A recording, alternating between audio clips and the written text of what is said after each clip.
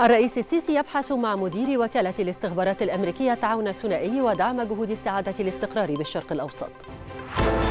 وفي احتفال الشرطة بعيدها الرئيس السيسي يؤكد نجاح مصر بنسبة كبيرة في القضاء على الإرهاب ويثني على رفض الشعب لدعاوى الهدم والتدمير والفوضى.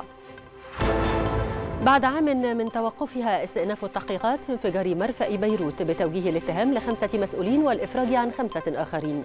التاسعة مساء في القاهرة. السابعة بتوقيت جرينتش. نشرة إخبارية مفصلة تأتيكم من التلفزيون المصري. أهلا بكم.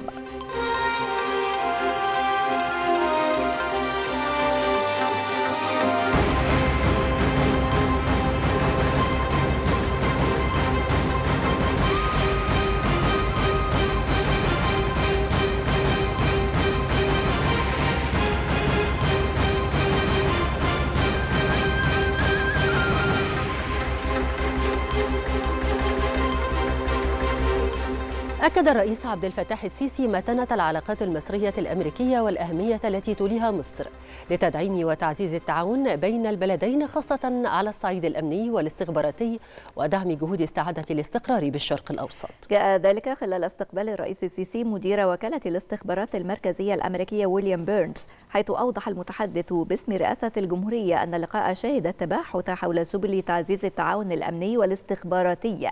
وتبادل وجهات النظر بشأن القضايا الدولية والإقليمية.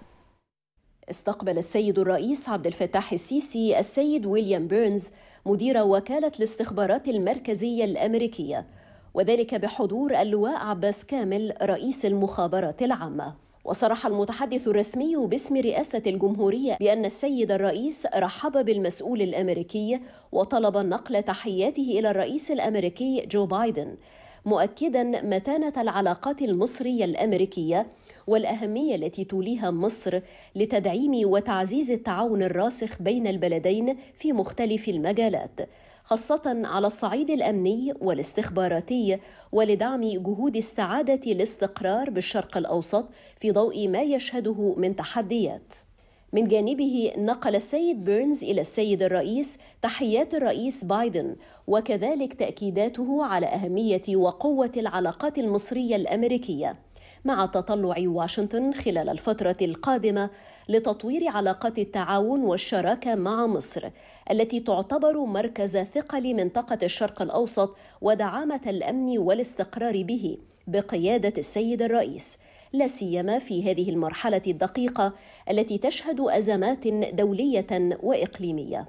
وأوضح المتحدث الرسمي أن اللقاء شهد التباحث حول سبل تعزيز التعاون الأمني والاستخباراتي بين البلدين فضلا عن تبادل وجهات النظر بشأن المستجدات المتعلقة بعدد من القضايا الدولية والإقليمية ذات الاهتمام المشترك. تلقى الرئيس عبد الفتاح السيسي اتصالا هاتفيا من الرئيس ماكي سال رئيس جمهورية السنغال. وصرح المتحدث الرسمي باسم رئاسة الجمهورية بأن الاتصال تناول استعراض الاستعدادات التحضيرية للقمة الأفريقية السنوية المقبلة. والتي من المقرر لها أن تنعقد خلال شهر فبراير القادم. وكذلك تباحث بشأن القضايا المشتركة. وقدم الرئيس السيسي التهنئة للرئيس ماكي سال على الرئاسة الناجحة للاتحاد الإفريقي خلال عام 2022 والتي جاءت في عام شهد العديد من التحديات الدولية والإقليمية. وكانت لها تداعيات كبيرة على كافة الأصعدة السياسية والاقتصادية والاجتماعية في القارة الإفريقية. من جانبه أعرب رئيس ماكي سال عن خالص التقدير والعرفان للدعم المصري لبلاده في مختلف جوانب العمل القاري خلال فترة رئاستها للاتحاد الأفريقي. وهو ما عكس حرص مصر بقيادة السيد الرئيس على إعلاء المصالح المشتركة للدول الأفريقية والبحث عن حلول للقضايا والأزمات التي تواجه القارة.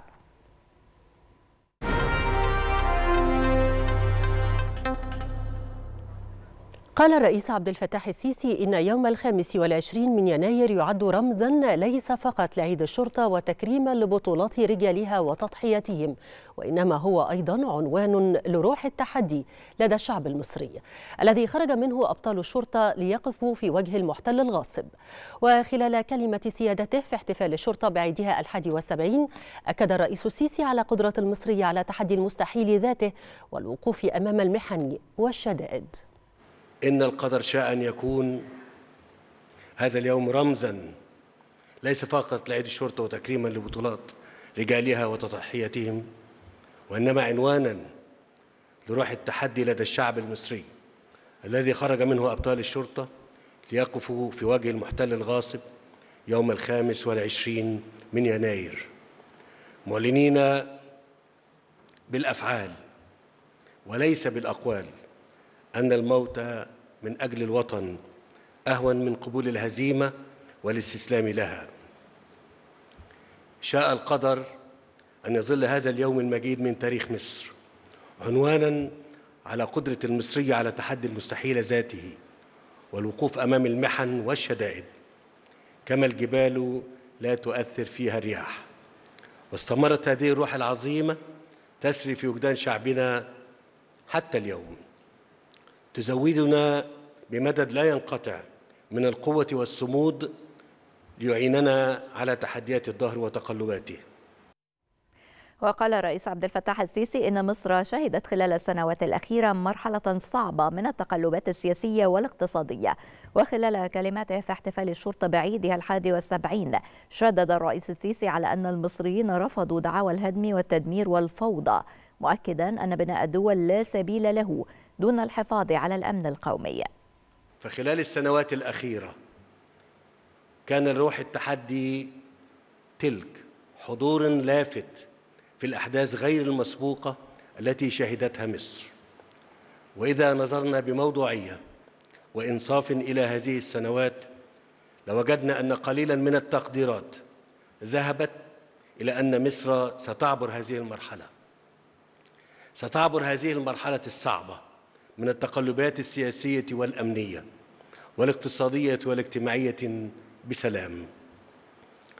ولكن وكما هي عادة المصريين بروح التحدي والصمود الجبارة التي يملكونها حافظوا على دولتهم وحموا بصدورهم مكتسباتهم التاريخية. ورفضوا دعاوى الهدم والتدمير والفوضى.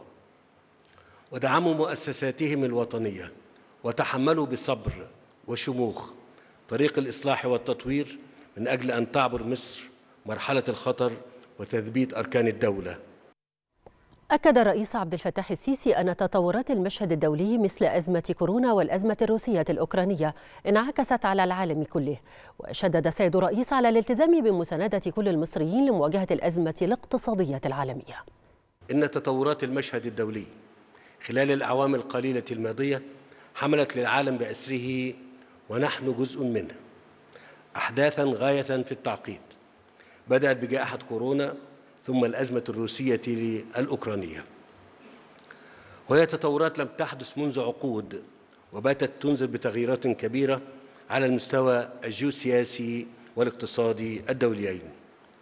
هذه حقائق انعكست بشكل سلبي على الغالبية العظمى من دول العالم. وفي مصر كان شاغلنا الشاغل. منذ البداية هو كيفية تخفيف آثار الأزمات العالمية على الداخل المصري.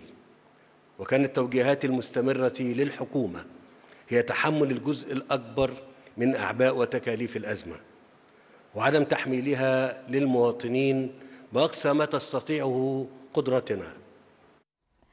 كما شدد الرئيس السيسي على أن الدولة تعمل في كل القطاعات لأنها تحتاج لمواجهة حقيقية. وأوضح الرئيس السيسي أن الشبكة القومية للطرق كانت ضرورة لابد منها. النهارده إذا كنا بنتكلم على على الأقل واحد ونص تريليون جنيه لموضوع الطاقة اللي هو موضوع الكهرباء يمكن والغاز. هل كان ممكن النهارده الدولة المصرية تستمر؟ وعايز أقول إن في خلال السبع سنين اللي فاتوا دول يعني إحنا زدنا 14 مليون. وفي العشر سنين من 2011 للنهاردة زدنا يجي 10 يجي 20 مليون. هل كان ممكن النهارده وإحنا كان عندنا أزمة كهرباء إن ما يتمش عمل التطوير للبنية الأساسية في الكهرباء عشان تجابه الطلب وأيضا التنمية اللي إحنا بنستهدفها؟ كان ممكن يحصل ده؟ أنا بتكلم في أسئلة واضحة جدا لينا كلنا. أسئلة محتاجين إن إحنا نتوقف منها لأن في محاولات دايما لتضليل الناس وياخدوهم في حتة تانية خالص. أنا عندي ثقة في الناس وعندي ثقة في الشعب المصري إن هو فاهم ده وشايفه بس أنا بأكد عليه. طيب حاجة تانية زي مثلا مشروعات الخاصة بال الشبكة القومية للطرق والنقل. هل كان النهارده ممكن الموانئ المصرية يكون ليها دور في التجارة العالمية وإحنا في منطقة في منتهى الأهمية. بتمر منها قناة السويس وبيمر منها 17 18% من التجارة العالمية. إن موانينا في مصر ما تكونش جاهزة لهذا التطوير وهذه التنمية المحتملة. هل كان شبكة الطرق وشبكة النقل اللي موجودة اللي النهارده إحنا داخلين في حوالي 1.7 1.8 ويمكن نصل ل 2 تريليون جنيه؟ هل إحنا كان ممكن ما نعملش ده ونسيبها كده؟ كما قال السيد الرئيس عبد الفتاح السيسي إن دخل قناة السويس عندما قررت الدولة تطويرها كان 4.5 مليار دولار سنويا. وبعد تطويرها ارتفع دخل القناة ليصل إلى نحو 8 مليارات دولار حاليا. متوقعا أن تصل إيرادات القناة إلى ما بين 10 إلى 12 مليار دولار سنويا.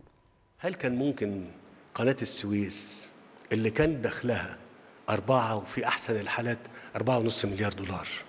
ما يتمش تطويرها ويجي النهارده بعد تقريبا سبع سنين يكون دخلها السنة دي وصل ل 8 مليار دولار. هل كان ممكن إن إحنا نتجاوز وما نطورش القناة ديت عشان تجابه التطورات في التجارة الدولية ونسيبها زي ما هي كده؟ وما نستفدش بالرقم اللي أنا بقول عليه دلوقتي. اللي إحنا متصورين عندما عملت الدراسات لموضوع قناة السويس أنها تستهدف الوصول إلى 10 و12 مليار دولار سنويا. هل الرقم ده جنب الرقم اللي تم تطوير القناة فيه ساعتها؟ يعتبر رقم كبير؟ كما أكد رئيس السيسي نجاح مصر بنسبة كبيرة في القضاء على الإرهاب وأعلن عن تنظيم احتفالية كبيرة في العريش ورفح والشيخ زويد بهذه المناسبة. موضوع الإرهاب الحمد لله إحنا نجحنا بنسبة كبيرة جدا إن إحنا نخلصه. وفي احتفالية إحنا هنعملها مش هنا في مصر هنعملها في العريش ورفح والشيخ زويد. آه.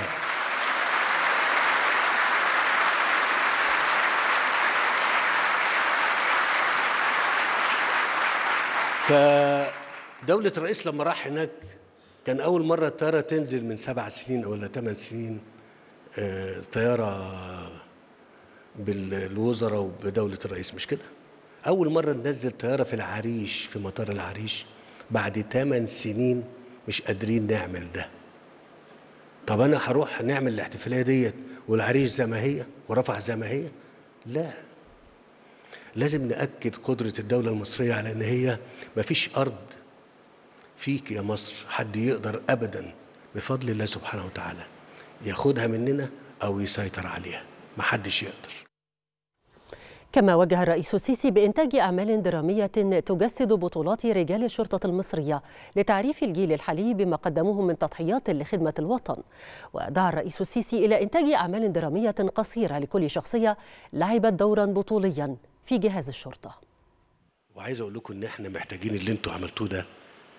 لو طلع حتى مسلسلات كل مسلسل خمس حلقات لكل شخصية من الشخصيات اللي أنتوا ذكرتوها دي هتعرفوا الناس قد إيه إن البلد دي كان طول عمرها يعني بيقولوا ولادة للأبطال وللرجال اللي الظروف قدمتهم بس الناس ما تعرفهمش. وكانت عرفتهم ساعتها ما تعرفهمش دلوقتي. فأتصور إن إحنا محتاجين نطلع الشخصيات ديت بالشكل اللي يليق بيها. مش لازم بمسلسل طويل يعني ياخد مدة طويلة لكن يعني فقرة حتى كده خمس حلقات لكل شخصية والدراما تشتغل فيها وتقدم من الصورة اللي إحنا محتاجين مش نحسنها نحافظ على حسنها. الصورة اللي إحنا محتاجين نحافظ على حسنها اللي هي صورة المصري اللي بيعمل في القطاع ده لأنه هو مصري. واللي إحنا كان حولة كبيرة جدا اتعملت خلال السنين اللي فاتت. واللي كان آخرها من عشر سنين ولا أكتر كان الهدم كان هدفه حاجة واحدة إن الجناح ده ما يبقاش موجود عشان البلد تتاخد. هو كده اللي عايز يعرف نكسر الشرطة ليه؟ عشان ناخد البلد. نكسر الجيش ليه؟ عشان ناخد البلد أو نضيعها.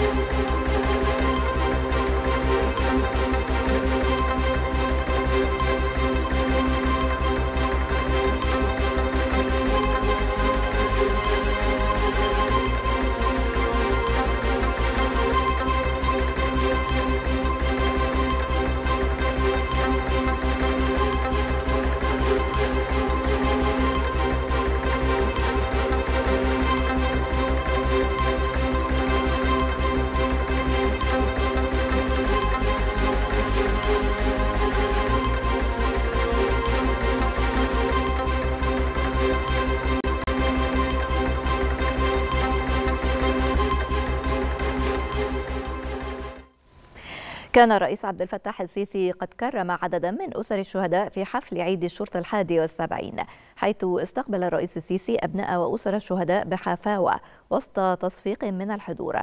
وقام الرئيس السيسي بتكريم الدكتورة ليلى تكلة زوجة البطل عبد الكريم درويش ومنى ذو الفقار كريمة البطل صلاح ذو الفقار وآخرين.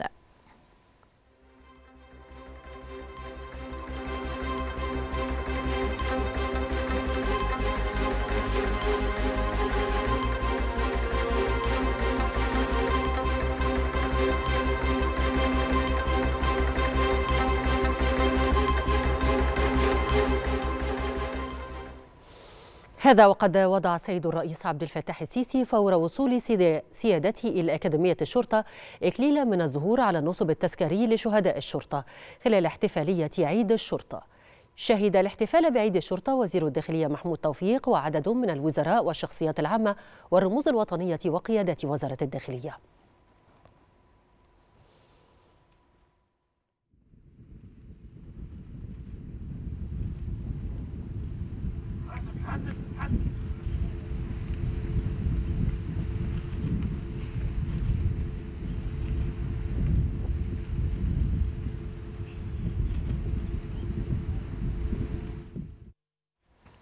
وقبيل انطلاق الاحتفال بالذكرى الحادية والسبعين لعيد الشرطة بمجمع المؤتمرات بأكاديمية الشرطة بالقاهرة الجديدة.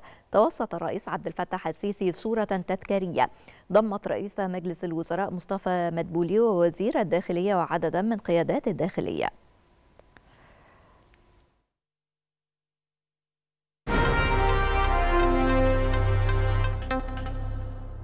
عقد رئيس مجلس الوزراء الدكتور مصطفى مدبولي اجتماعا مع وزير الكهرباء والطاقة المتجددة محمد شاكر لاستعراض عدد من ملفات عمل الوزارة في الفترة الراهنة. وأكد رئيس الوزراء حرص الحكومة على الوقوف على سير العمل بمختلف المشروعات في مجال الكهرباء باعتباره قطاعا حيويا يرتبط بمختلف مسارات التنمية. كما طلع رئيس الوزراء على آخر التطورات في مشروعات إنتاج الهيدروجين الأخضر وكذلك سير العمل بالمشروعات التي يتم تنفيذها ضمن مبادرة حياة كريمة لتطوير ورفع كفاءة شبكات وتوزيع ونقل الكهرباء. أكد رئيس مجلس الوزراء مصطفى مدبولي دور جهاز تنمية المشروعات المتوسطة والصغيرة ومتناهية الصغر في دعم وتطوير تلك المشروعات والسعي لإتاحة المزيد من البرامج والإجراءات لتهيئة المناخ اللازم لتشجيع ونمو هذا القطاع المهم. جاء ذلك خلال لقاء مدبولي مع رئيس التنفيذي لجهاز تنمية المشروعات المتوسطة والصغيرة ومتناهية الصغر باسل رحمي لمتابعة عدد من ملفات عمل الجهاز. وفي ختام اللقاء كلف رئيس الوزراء بالتوسع في جهود التسويق للمنتجات بمختلف الوسائل لافتا إلى أهمية التنسيق مع المسوقين العالميين عبر الإنترنت لتسويق منتجات العارضين في معرض تراثنا شهد رئيس مجلس الوزراء الدكتور مصطفى مدبولي مراسم توقيع مذكرة تفاهم بشأن التعاون في مجال تكنولوجيا المعلومات والاتصالات والبريد. بين حكومتي مصر والصومال. ثمن رئيس الوزراء هذا التعاون مؤكدا أنه يعزز أهمية دور الاتصالات وتكنولوجيا المعلومات في تحقيق التنمية الشاملة في البلدين ويسهم هذا التعاون الثنائي في إعادة الهيكلة ونقل الخبرات المصرية في تخصصات الاتصالات المختلفة. وكذلك دعم الشمول المالي من أجل تحسين مهارات التسويق الإلكتروني والتجارة الإلكترونية لأصحاب المهن الحرفية. وتبادل الخبرات في مجال تكنولوجيا المعلومات والاتصالات على أساس المصلحة المشتركة. ونقل الخبرات والمعارف وأفضل الممارسات في مجال الرقمنة من أجل التنمية المستدامة الشاملة. كما شهد رئيس مجلس الوزراء مراسم توقيع مذكرة تفاهم بين وزارة الاتصالات ونظيرتها الفلسطينية بشأن التعاون في مجال تكنولوجيا المعلومات والاتصالات والبريد. تضمنت مذكرة التفاهم أيضا تبادل الخبرات والتجارب بين البلدين وتنسيق المواقف في المحافل الدولية والإقليمية. وكذلك تبادل الخبرات فيما يتعلق بالأنشطة ومشروعات قطاعات الاتصالات وتكنولوجيا المعلومات والبريد. وأفضل الممارسات التي تساعد الطرفين في أداء مهامهما بصورة أكثر فعالية وتسهم في تقليل كلفة الأعمال. أعرب المنسق العام للحوار الوطني ضياء راشوان عن ترحيب مجلس أمناء الحوار بدعوة وزير المالية محمد معيط لإجراء حوار مجتمعي حول موازنة العام المالي الجديد وما يرتبط بها من قضايا مالية واقتصادية. أوضح المنسق العام للحوار الوطني أن جدول أعمال الحوار يتضمن محورا اقتصاديا يشمل ثمان لجان فرعية منها واحدة مخصصة للموازنة العامة للدولة بكل تفاصيلها. وتتوزع القضايا الأخرى التي شملتها دعوة وزير المالية على اللجان الأخرى بالمحور الاقتصادي. رحب المنسق العام للحوار الوطني بشمول الحوار المجتمعي الذي دعا إليه وزير المالية ضمن فعاليات الحوار الوطني الذي سيبدأ جلسات لجانه خلال فترة قصيرة. تعقد تنسيقية شباب الأحزاب والسياسيين ورشة عمل حول الدراما المصرية وصناعة المحتوى. وذلك في إطار اهتمام التنسيقية ومناقشتها لأهم القضايا التي تهم الشارع المصري وذلك ضمن نقاشات الحوار الوطني. تتناول الورشة مناقشة عدة محاور منها دور القوى الناعمة وتأثيرها المباشر في بناء الأجيال وتأثير عصر الرقمنة والمنصات الإلكترونية على صناعة المحتوى. بالإضافة إلى كيفية استخدام الفن والدراما لتعظيم موارد الدولة اقتصاديا وإصلاح البنية التشريعية لتسهيل حركة الإبداع والفن ودور شركات الإنتاج الفني بين الرسالة الفنية والاستثمار. تواصل وزارة الداخلية حملاتها اليومية لمتابعة أسعار السلع الاستراتيجية وضبط قضايا حجب السلع والبيع بأسعار أزيد من السعر الرسمي. وتمكنت جهود الوزارة خلال 24 ساعة من ضبط 634 قضية تموينية مستندية وعينية بمضبوطات بلغت 313 طن. وفي مجالي حجب السلع الاستراتيجية والاستيلاء على السلع المدعومة تم ضبط 98 طن. أما في مجال عدم توريد أرز الشعير والحجب والبيع بأزيد من السعر الرسمي للأرز الأبيض فقد تم ضبط 207 أطنان. أما في مجال البيع بأزيد من السعر الرسمي للسلع الغذائية فقد تم ضبط تسعة أطنان. وفي مجال قضايا المخابز تم ضبط 497 قضية. من بينها 189 قضية خبز ناقص للوزن و115 قضية خبز غير مطابق للمواصفات. وفي مجال القضايا التموينية المتعلقة بغش الأعلاف تم ضبط 123 طن.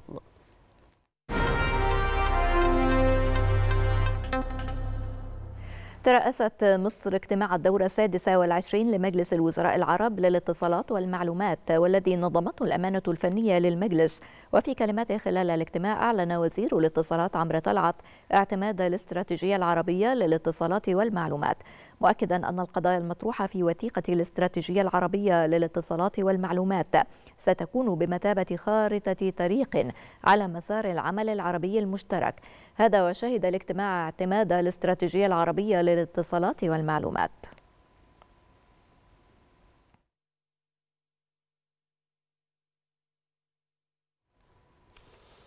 وجه قاضي التحقيق في انفجار مرفأ بيروت اتهامات إلى ثمانية مسؤولين لبنانيين كما قرر إطلاق سراح خمسة محتجزين.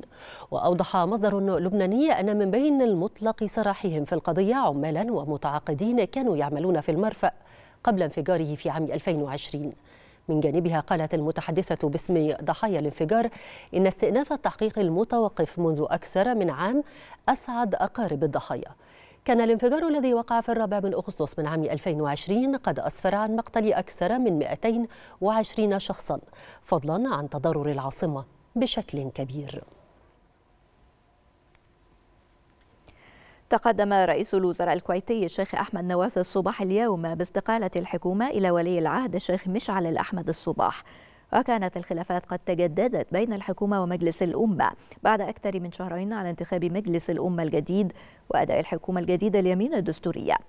ويعود الخلاف إلى مطالبة النواب بتمرير عدد من القوانين خاصة المالية منها والتي يعارضها مجلس الوزراء ويريد تأجيلها حيث أكدت الحكومة موقفها بشأن إعادة تقارير اللجنة المالية إلى اللجان دون تعهدات إضافة إلى سحب الاستجوابين المدرجين على جلسة الغد والموجهين إلى وزير المالية ووزير الدولة لشؤون مجلس الوزراء.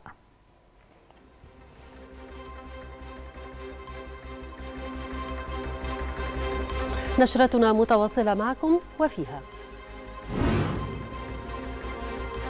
حراك أوروبي مكثف لتزويد كييف بدبابات ليوبارد الألمانية وبولندا تلوح بإرسال الدبابات دون إذن من برلين.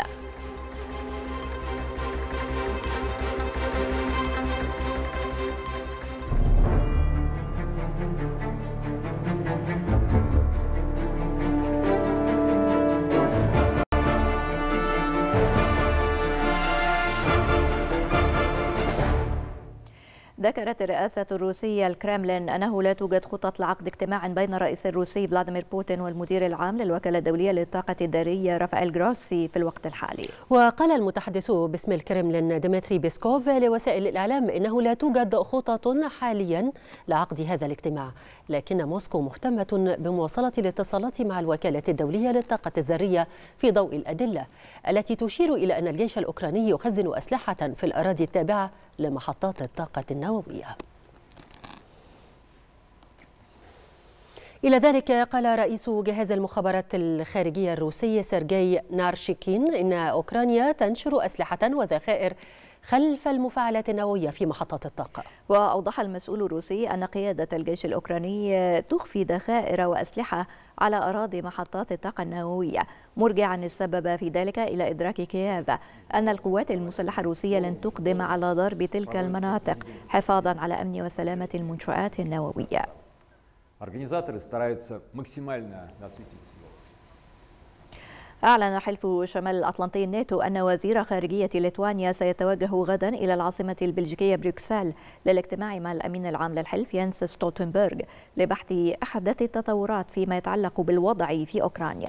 من جانبه قال رئيس الوزراء البولندي إن بلاده يمكنها إرسال دبابات ليوبارد الألمانية إلى أوكرانيا دون الحصول على إذن من برلين مشددا على أنه سيواصل الضغط على الحكومة الألمانية.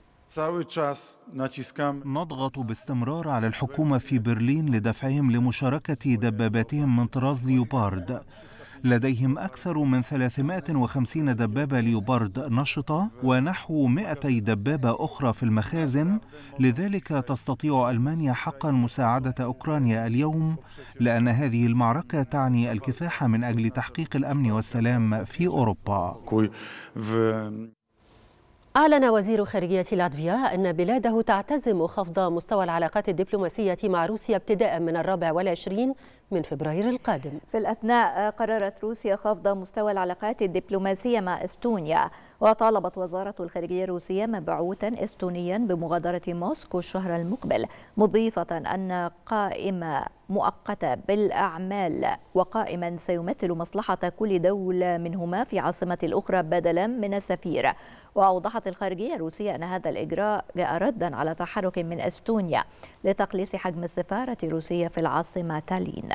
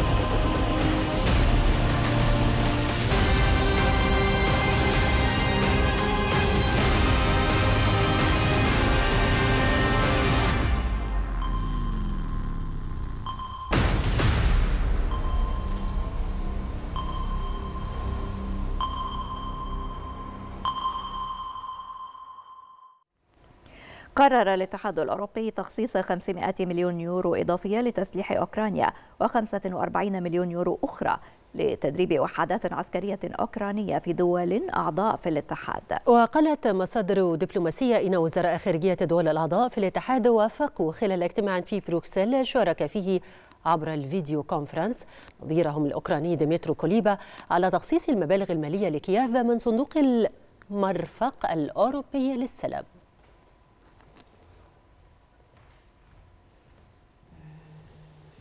حث رئيس المجلس الأوروبي شارل ميشيل زعماء دول الاتحاد الأوروبي على المضي قدما في محادثات بشأن استخدام أصول البنك المركزي الروسي المصادرة لإعادة أعمار أوكرانيا. وقال ميشيل إنه يريد بحث فكرة إدارة الأصول المجمدة لتحقيق أرباح يمكن تخصيصها بعد ذلك لجهود إعادة الإعمار.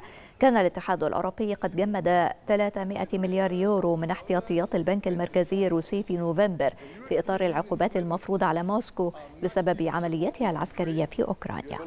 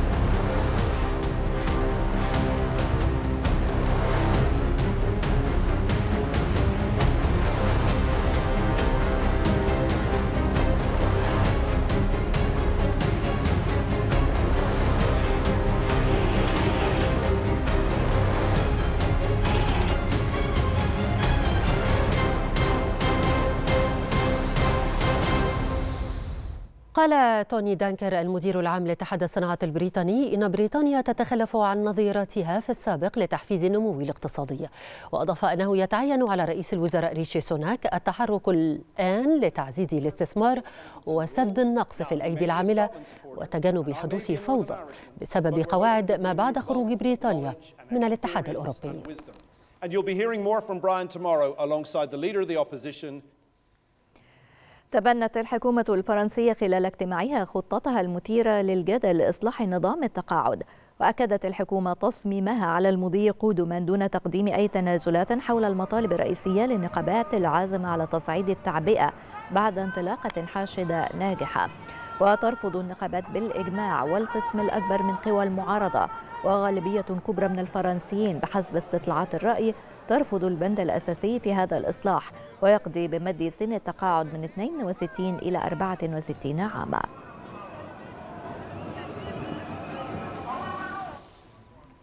قالت وزيرة الخزانة الأمريكية جانيت يلن إن الولايات المتحدة تريد أن يتم تحقيق تقدم أسرع في خطط البنك الدولي لتوسيع قدرته على الإقراض لمعالجة الأزمات العالمية.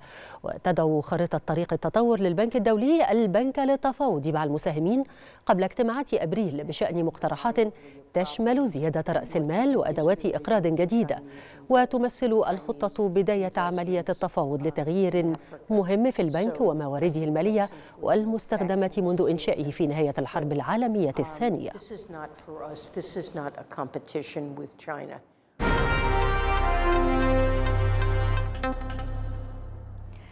قال نائب وزير الخارجية الروسي سيرجي ريابكوف إن الوضع الحالي في العلاقات الروسية الأمريكية لا يسمح بعقد اجتماع لمناقشة معاهدة ستارت الجديدة للحد من انتشار الأسلحة النووية. وقال نائب وزير الخارجية الروسي إن من وصفهم بأعداء روسيا يفاقمون المخاطر في أوكرانيا بتسليمها الأسلحة. وفي سياق آخر أشار المسؤول الروسي إلى أن السفير الأمريكي الجديد لدى روسيا سيصل إلى موسكو خلال أيام.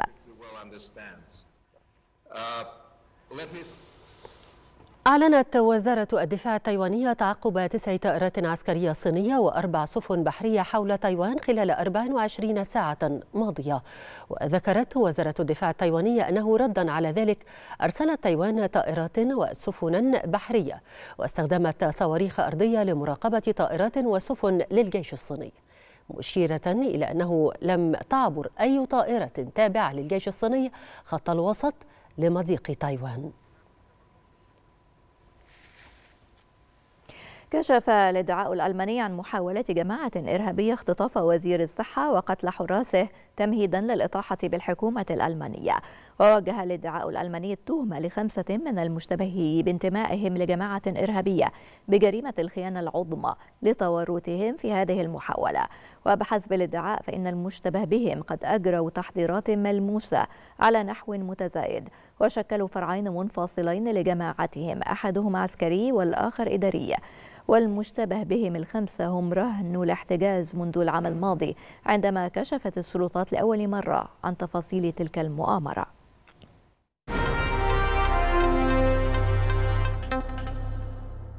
في إطار زيارته لدولة جنوب السودان التقى وزير الموارد المائية والري هاني سويلم النائب الأول لرئيس جمهورية جنوب السودان رياك مشار وخلال المباحثات أكد وزير الري أن المشروعات التي تنفذها مصر تهدف لخدمة مواطني دولة جنوب السودان من خلال توفير مياه الشرب النقية والحد من مخاطر الفيضانات والحفاظ على الصحة العامة. كما التقى سويلم جيمس واني نائب رئيس الجمهورية والمسؤول عن القطاع الاقتصادي بجنوب السودان. تناول اللقاء سبل تعزيز التعاون بين البلدين في مختلف المجالات. كما التقى وزير الري مع تابعان دينغ نائب رئيس الجمهورية والمسؤول عن قطاع المشروعات والبنية التحتية حيث بحثا سبل تعزيز مشروعات التعاون بين البلدين في مجال الموارد المائية والري بالإضافة لمناقشة سبل فتح المجال للشركات المصرية للعمل في جمهورية جنوب السودان خاصة في مجالي الكهرباء والطاقة والبترول والبنية التحتية. شهد مجلس الشيوخ في جلسته العامة مناقشة العديد من التساؤلات حول سياسة الحكومة بشأن كيفية استعادة المدرسة ريادتها التعليمية في إطار رؤية الجمهورية الجديدة. كما تطرق المجلس للدروس الخصوصية وسياسة وزارة التربية والتعليم بشأن آلية تنفيذ التحاق أطفال التوحد بالمدارس.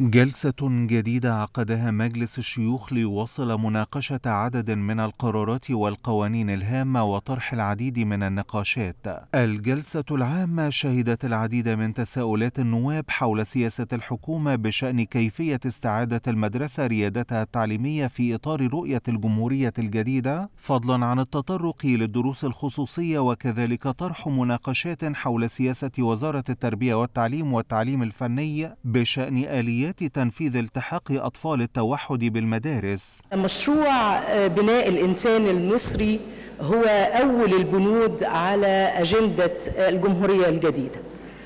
بل هو أهمها على الإطلاق. الحقيقة يأتي التعليم ويكون هو مفتاح هذا البناء. وإذا كنا جادين في بناء مصر الجديدة فيجب الاهتمام بالتعليم و... ويعني الحقيقة هذا نلمسه جميعا من اهتمام الدولة الآن لأنها تسير في هذا الاتجاه. هناك العديد من المقترحات التي نرى قد تأتي نفعا في سبيل عودة المدرسة لسابق عهدها وممارسة دورها الريادي في المنظومة والعملية التعليمية بشكل عام رقم واحد يحتاج بلا أدنى شك إلى تطوير المناهج الدراسية على كل المستويات بداية من المرحلة الابتدائية وحتى المرحلة الثانوية. رقم اثنين الاختيار الجيد للمعلمين حيث يعتبر المعلم هو أساس العملية التعليمية مما يتطلب توافر صفات معينة في مثل الالتزام بتقديم المعرفة وتطويرها عند تقديمها الطلبة. رقم ثلاثة تطوير دور الأخصائي الاجتماعي في المدارس حيث يعمل الأخصائيون الاجتماعيون كخبراء في الصحه النفسية والعقلية وقاده في التنمية الاجتماعية داخل المجتمع المدرسي كما أنهم منسق العلاقة بين المدارس بين العائلة. معروف أن التعليم أساس لكل التقدم في كل زمان ومكان. ولذلك تهتم الدولة المصرية والحكومة الموقرة بتطويره بشكل ملموس ولا يستطيع أحد إنكار هذا. سيادة الرئيس التعليم منظومة متكاملة تقوم على ركائز أساسية وهي القدرة المؤسسية اللي هي الأبنية المختلفة وتجهيزها والمعلم والمحتوى التعليمي وطرق تقديمه وتوصيله للطلاب.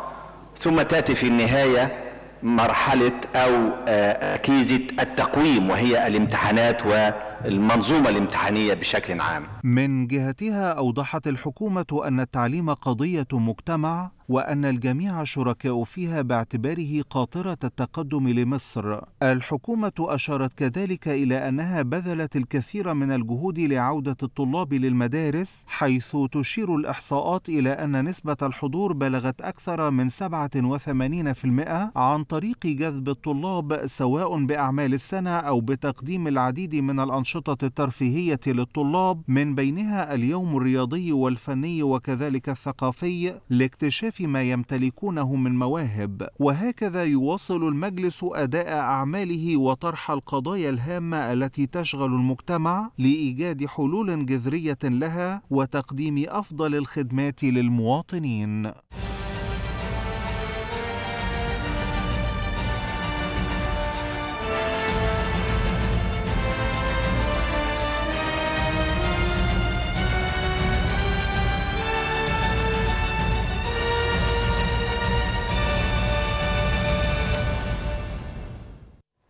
في لقاء خاص مع التلفزيون المصري أكد عدد من نواب مجلس الشيوخ أن الدولة تولي اهتماما كبيرا بالعملية التعليمية مشددين في الوقت ذاته على ضرورة تأهيل المدرسين لتحسين جودة التعليم. التعليم مسؤولية مجتمعية مسؤولية الثلاثة مسؤولية ولي الأمر مسؤولية المعلم مسؤولية الطالب. فخامة الرئيس عبد الفتاح السيسي مهتم اهتمام بالغ بالعمليات التعليمية مثلها مثل محور الصحة.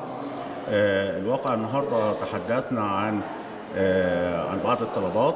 أنا كان ليا الكلمة الخاصه بذوي الهمم أو أطفال التوحد بصفة خاصة. كان في قرار معالي الوزير 252 لسنة 2017 بدمج الأطفال من ذوي التوحد إلى المدارس. طلبت النهارده بتفعيل هذا القرار. مهم قوي بالنسبة لتطوير قضايا التعليم في الوقت الحالي إن إحنا عندنا عملية تأهيل المدرسين وعملية اللجان التقييم اللي بتقيم. إحنا بنقول إن يجب إن تكون كليه التربية هي المعيار اللي بتحدد المعايير المطلوبة للمدرس المؤهل. افتتح معرض أهلا رمضان للسلع الغذائية والرمضانية بمركز إيتاي البارودة لعرض السلع الغذائية واللحوم بالأسعار التنافسية والتي تقل عن مثيلتها بالأسواق بنسب تصل من 25 إلى 30%. من جهتها تفقدت نائب محافظ البحيرة نهال بلبع أقسام المعرض والذي يضم 12 جناحا لكبرى شركات المواد والسلع الغذائية وأجنحة للسلع الأساسية والمعلبات بأنواعها وأخرى لبيع اللحوم والخضروات والفاكهة والأسماك والمجمدات.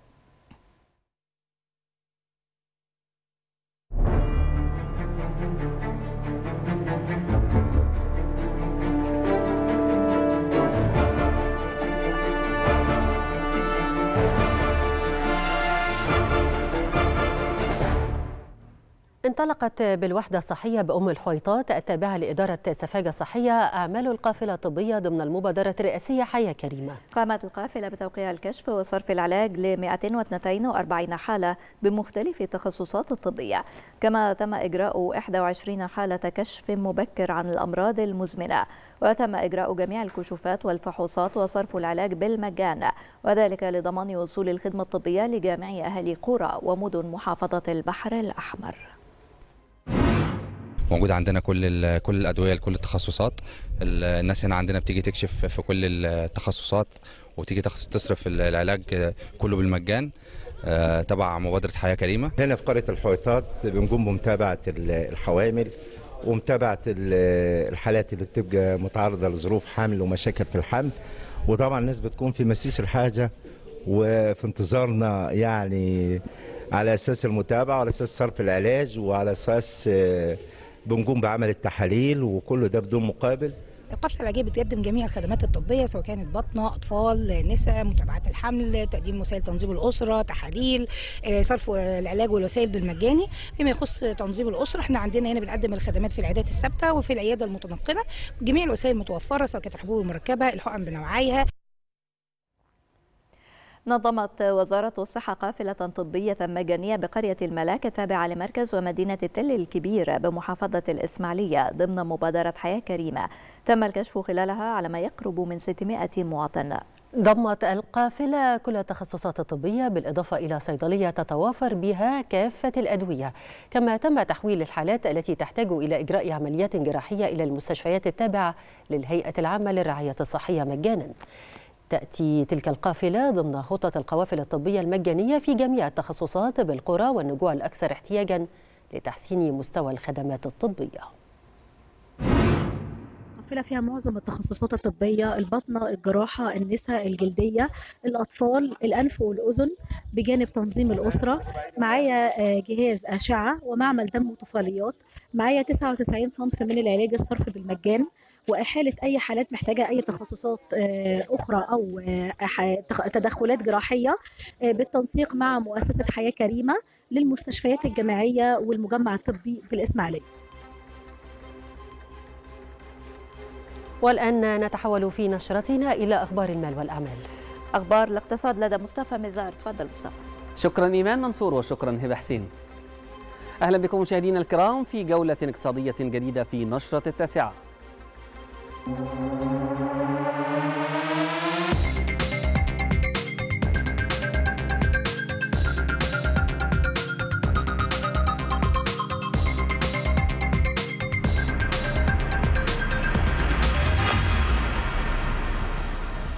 انتهت محافظة الوادي الجديد من زراعة 300 ألف فدان بمحصول القمح في الموسم الجديد حيث من المستهدف الوصول إلى زراعة 400 ألف فدان خلال الأيام القادمة. كانت محافظة الوادي الجديد قد قامت بزراعة 342 ألف فدان في العام الماضي وفرت ما يقرب من 540 ألف طن من أجود الأقماح.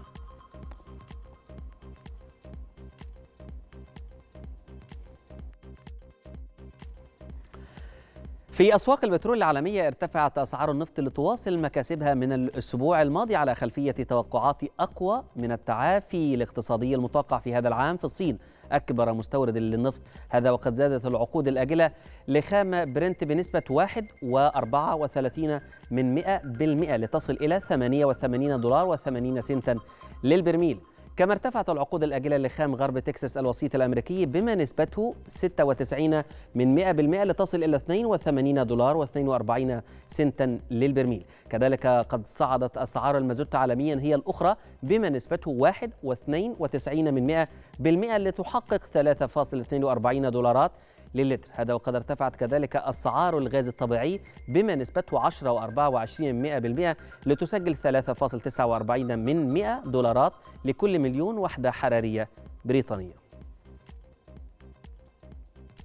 تباينت بورصات الخليج في ختام التعاملات حيث ارتفع المؤشر العام لسوق الأسهم السعودية بنسبة 38 من 100% كما ارتفعت المؤشرات في بورصة الكويت ليصعد المؤشر مؤشر السوق العام بنسبة 1.18 من 100% في المقابل تراجعت أسواق المال الإماراتية وكذلك هبط المؤشر العام لبورصة البحرين بنسبة 3 من 10% خاسرا ما يقرب من 53 من 100 نقطة أساس.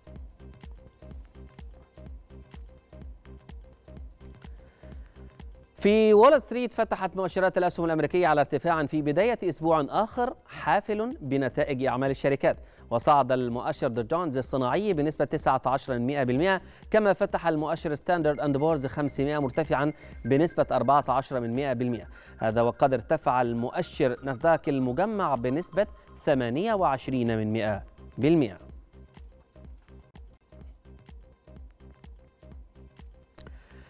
في الأسواق الأسيوية قفز المؤشر نيكي الياباني بأكثر من 1% مقتفيا أثر زيادة شهدتها وول ستريت في الأسبوع الماضي بقيادة الأسهم المرتبطة بالرقائق.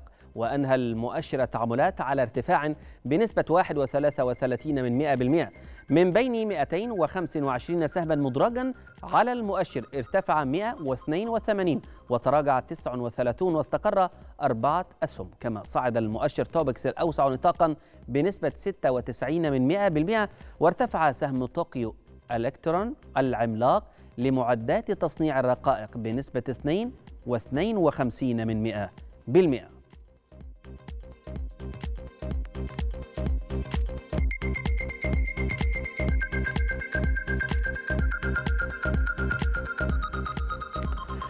انتهت هذه الجولة في أخبار المال والأعمال مشاهدينا الكرام لكن أخبار التاسعة ما زالت مستمرة ونعود لاستكمال ما تبقى مع هبة وإيمان. شكرا لك مصطفى. شهدت مستشفى الحميات والجهاز الهضمي بأسيوط أحد أكبر مستشفيات الحميات بصعيد مصر. أعمال تطوير ورفع الكفاءة. تكلفت أعمال التطوير نحو 52 مليون جنيه وذلك بهدف خدمة أهالي الصعيد وتطوير الخدمات الصحية المقدمة لهم في إطار دعم الدولة لتطوير المنظومة الطبية والصحية وتوفير أماكن لائقة للمواطنين لتلقي الخدمات الطبية. انتهت محافظة أسيوط من تطوير مستشفى الحميات والجهاز الهضمي. أقدم وأكبر مستشفيات المحافظة بتكلفة 52 مليون جنيه. طفرة في تطوير أقسام مستشفى الحميات بدأت بخمس عيادات خارجية جديدة وتطوير استقبال المستشفى. وتطوير معامل المستشفى حميات أسيوط وإمدادها بأجهزة حديثة. خط سير العيان بداية بيكون من عياده الجهاز الهضمي في مبنى العيادات وبعدين هناك المريض بيتفحص وبيتعمل له تحاليل ولو اتقرر إن يكون ليه محتاج إنه يتعمل له منظار بيدخل عندنا وبيتعمل له fitness أو لياقة لعمل المنظار الطبي. والاستقبال المزيد من الحالات المرضية وتوفير الرعاية الصحية والعلاجية المناسبة للمرضى شهدت المستشفى أعمال تطوير ورفع كفاءة حيث شمل تطوير وحدات وأقسام العيادات الخارجية والكلى الصناعي والحضانات والقسطرة التشخيصية والعلاجية والرعايات المركزة والعمليات وغرف إقامة المرضى وزيادة السعة السريرية. هنا بالنسبة للمعمل الحاجات الأجهزة اللي بنشتغل عندنا كيمياء وبنشتغل عندنا مايكرو وبنشتغل عندنا serology وفي عندنا اثنين جهاز CBC. بالنسبة لل serology بنشتغل ال HIV وفيروس C وال B وفيروس ال A بنشتغل على حالات العناية بنشتغل على حالات الغسيل الكلوي. بالإضافة عندنا برضو في جهاز ABG وجهاز electrolyte أملاح. وعندنا اثنين جهاز كيمياء تطوير مستشفى الحميات والجهاز الهضمي بأسيوط يعد إضافة جديدة إلى المستشفيات الصحية والوحدات المتميزة والمراكز الطبية التي تم إنشاؤها لتحسين الخدمات المقدمة للمواطنين وتلبية لاحتياجاتهم واستعدادا لتطبيق منظومة التأمين الصحي الشامل في باقي أنحاء الجمهورية. والآن مشاهدينا نتابع مع حضراتكم أخبار الرياضة. أخبار الرياضة بمنافساتها المختلفة مع مصطفى ميزار مرة أخرى. إليك مصطفى. شكرا من جديد هدى وشكرا إيمان. أهلا بكم مشاهدينا الكرام في إلى عالم الساحرة المستديرة ونتابع في هذه الجولة.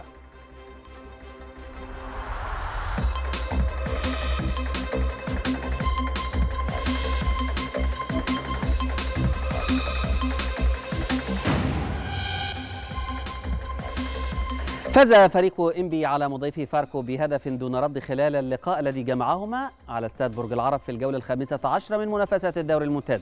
بهذه النتيجة رفع إنبي رصيده إلى 13 نقطة في المركز الخامس عشر بينما تجمد رصيد فاركو عند 13 نقطة في المركز الثالث عشر.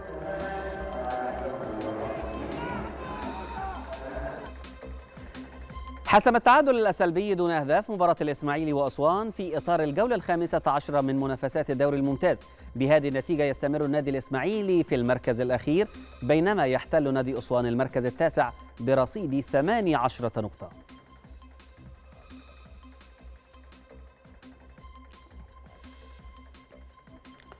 كما فاز الاتحاد السكندري على نظير حرس الحدود بهدف دون رد في اللقاء الذي جمعهم على ملعب استاد الإسكندرية ضمن منافسات الدوري الممتاز.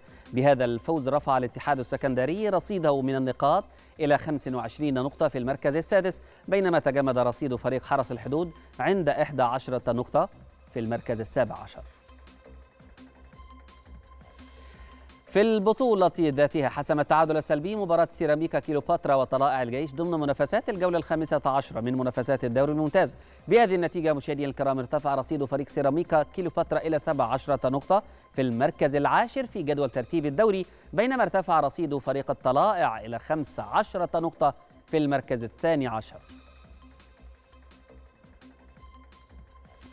يدخل منتخب مصر للشباب مواليد 2003 معسكرا مغلقا في الإسماعيلية. يستمر حتى الحادي والثلاثين من يناير الجاري استعدادا لبطولة أمم إفريقيا تحت 20 عام. هذا وتستضيف مصر بطولة كأس الأمم الإفريقية خلال شهري فبراير ومارس القادمين. كانت قرعة البطولة قد أسفرت عن وجود منتخب مصر في المجموعة الأولى والتي تضم موزمبيق والسنغال ونيجيريا.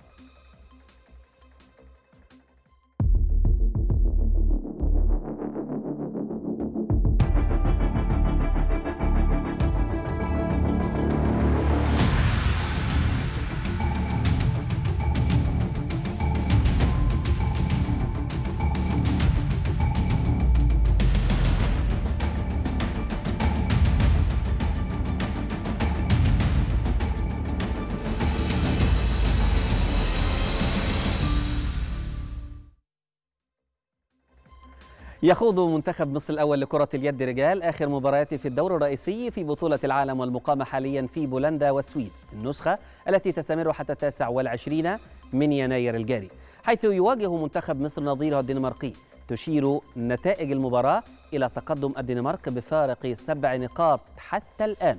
كان المنتخب الوطني قد تمكن من تحقيق الفوز على نظيره البحريني بنتيجة 26-22 يوم السبت الماضي في ثاني مباريات الدور الرئيسي في بطولة العالم ليضمن التأهل إلى الدور ربع النهائي.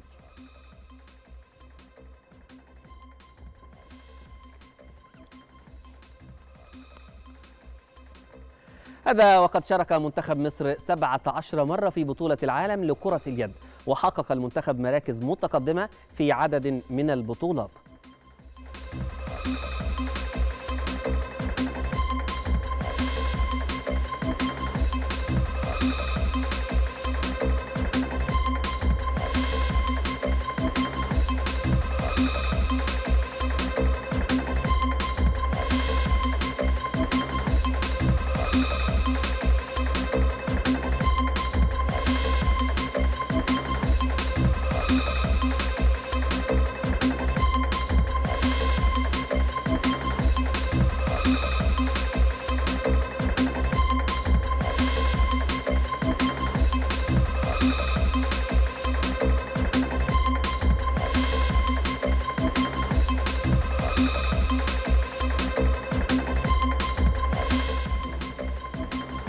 وصلنا معكم مشاهدينا الكرام إلى نهاية هذه الجولة في أخبار الكرة والملاعب محليا وعالميا ونعود لاستكمال ما تبقى في نشرتنا مع هبة وإيمان. أشكرك مصطفى. أدى هطول الأمطار الغزيرة والثلوج في ألبانيا إلى انقطاع التيار الكهربائي والمياه وتعريض المنازل لخطر وقطع الطرق. في الأثناء نشرت السلطات الألبانية أفرادا من الجيش في المناطق المتضررة لمساعدة السكان. موجة شديدة من الأمطار الغزيرة والثلوج تنهمر على ألبانيا وتؤدي إلى انقطاع التيار الكهربائي والمياه وتجبر السكان على إخلاء أجزاء من ريف ألبانيا. وظل نحو ألفي هكتار من الأراضي مغمورا بالمياه في شمال غرب ألبانيا حيث فاض نهر دريني وأنهار وجداول أخرى أصغر. وقد أدى ذلك إلى تعريض المنازل للخطر وقطع الطرق المحلية. ونشرت السلطات أفرادا من الجيش في المناطق المتضررة لمساعدة السكان. الأمطار الغزيرة والثلوج غمرت المنازل وعطلت الطرق. حيث كانت الشاحنات العسكرية الثقيلة وحدها قادرة على السير على الطرق الجليدية. وفي شرق البلاد تركت مجتمعات ريفية معزولة بعد تساقط الثلوج بكثافة حتى 25 سنتيمتر ما أدى إلى قطع الطرق المؤدية إلى بعض القرى النائية. كما تم إغلاق بعض الطرق الرئيسية مؤقتا وتركت عدة مناطق بدون كهرباء بسبب الأضرار التي ألحقت بشبكة الكهرباء. كما أغلقت المواني مؤقتا أيضا وأرسل مئات من قوات الجيش والشرطة إلى المناطق المهددة. والآن مع أخبار الطقس؟ نتحول فيها من جديد إلى مصطفى النزار تفضل مصطفى. شكرا إيمان. من جديد على هذا العرض. شكرا أيضا هبة. أهلا بكم مشاهدينا الكرام في محطتنا الثالثة والأخيرة. نستعرض فيها مع حضراتكم أحوال الطقس ودرجات الحرارة المتوقعة غدا بإذن الله.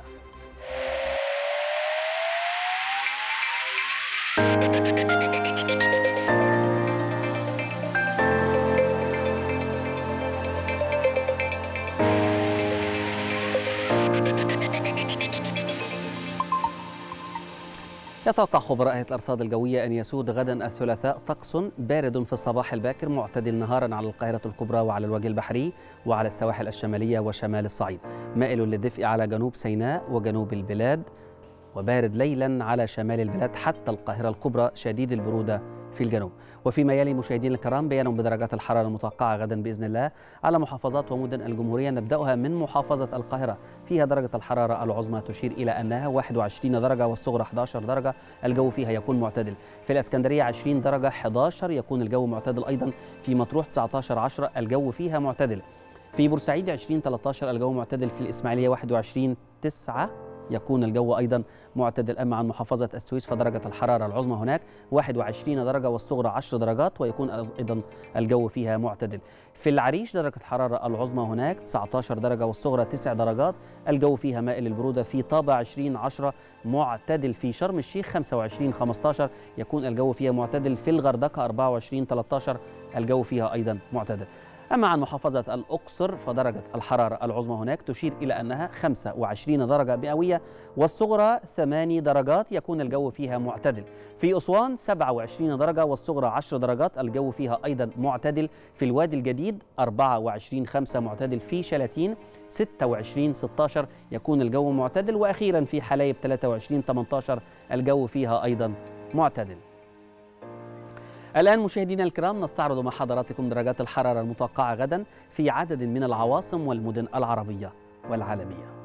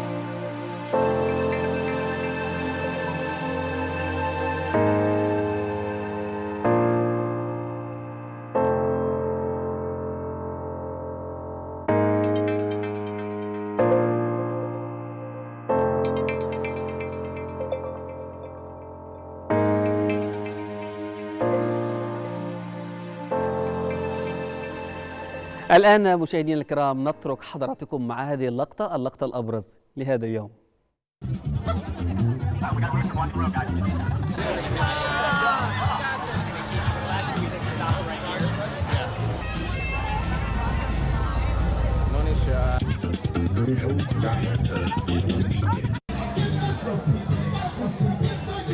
handsome boy, yeah. Yeah, perfect. Yeah. So Hey, cutie. Hi. Oh my goodness. Oh, cool. Hi. Now. You good boy. So much in the beginning. Yes, he picks out his all his own clothes. We want to have Henry in the front, if possible. Yeah.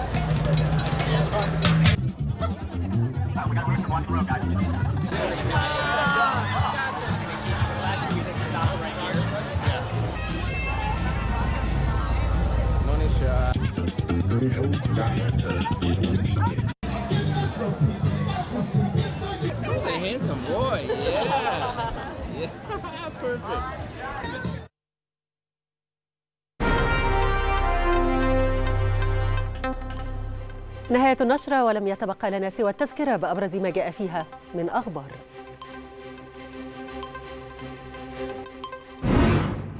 الرئيس السيسي يبحث مع مدير وكالة الاستخبارات الأمريكية التعاون الثنائي ودعم جهود استعادة الاستقرار بالشرق الأوسط. في احتفال الشرطة بعيدها الرئيس السيسي يؤكد نجاح مصر بنسبة كبيرة في القضاء على الإرهاب ويثني على رفض الشعب لدعاوى الهدم والتدمير والفوضى. بعد عام من توقفها استئناف التحقيقات في انفجار مرفأ بيروت بتوجيه الاتهام لخمسة مسؤولين والإفراج عن خمسة آخرين.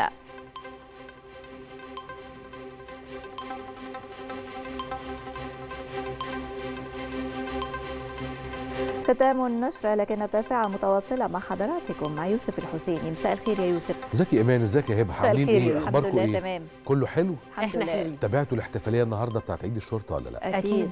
حلوة حلاوة. حلوة كل أبعد وكلهم. طيبين وكل أبطال مصر طيبين من الشرطة ومن الجيش آه والله، والشعب المصري من الناس الشعب المصري. برضو آه، بطل أساسي في الوطن شعب مصر ده بطل عظيم تاريخيا بطل أكيد. عظيم يعني حتى النهارده بالمناسبة على ذكرك ذكر كلامك آه، كان جزء من الاحتفالية ما قبل 25 يناير 52 يعني إيه اللي كان بيحصل في الإسماعيلية وإزاي كان المواطن العادي زائد الضباط بتوع الشرطة واقفين في وش الاحتلال؟ أنا لفت نظري إنه مش بس بقى اللي معروض قدامنا على خشبة المسرح كان محطوط عرض حلو جدا لقصاصات من الصحف اللي كانت صادرة آنذاك. فبتتعمل بالبروجيكتور على الحيطان حوالينا وإحنا قاعدين في القاعة في أكاديمية الشرطة. لازم تقعدي تقري اللي مكتوب. إحنا شعب عظيم غالبا أكتر مما يجب. ده بجد مش هزار سبحان الله يعني. هي مفيش عظمة أكتر من يعني التضحيات وبطولات رجال الشرطة اللي بيقدموا أرواحهم. حقيقي. مفيش أغلى من الروح. حقيقي. يلا ربنا يا رب يرحم كل اللي راح ويدي الصحة للي موجودين ويحفظهم جميعا. ليك يا يوسف. أشكرك يا هبة وهستأذنكم بقى ننطلق ونبدأ فقراتنا في التاسعة. سلام عليكم.